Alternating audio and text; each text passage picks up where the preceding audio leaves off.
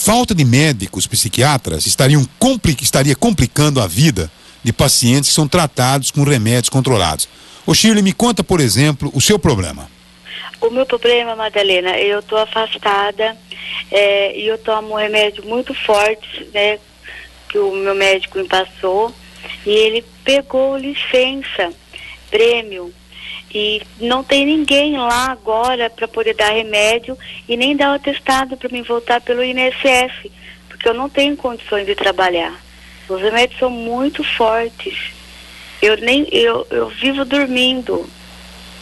Não tem condições. Eu fui lá ontem, o que tinha de gente chorando porque não, não tinha médico para pegar remédio. Eu acho absurdo isso. É um descaso com a, com a gente doente. Olha, eu já, eu já tentei até me matar já por causa da depressão. Agora, tem, tem uma coisa, né? É, é, é, isso que eu digo a você. É, tá difícil, eu sei que tá difícil, mas o setor, né, Fernando? Tem, existem é, setores e setores. De repente, é, se fosse aí um setor onde trabalha com unha encravada, tá certo não? Então, quer dizer, uma unha encravada não vai trazer é, perigo de morte a ninguém.